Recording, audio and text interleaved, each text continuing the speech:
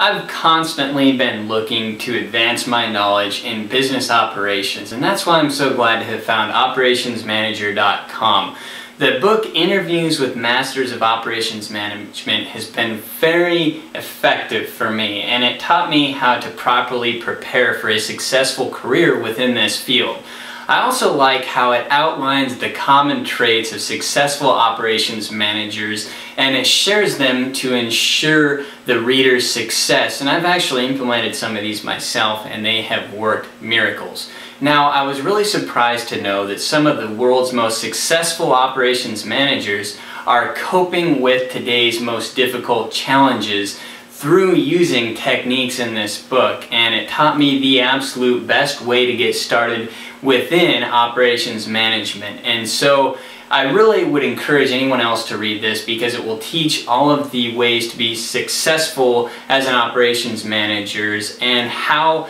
these proven methods can be implemented to be as successful as the industry's leaders.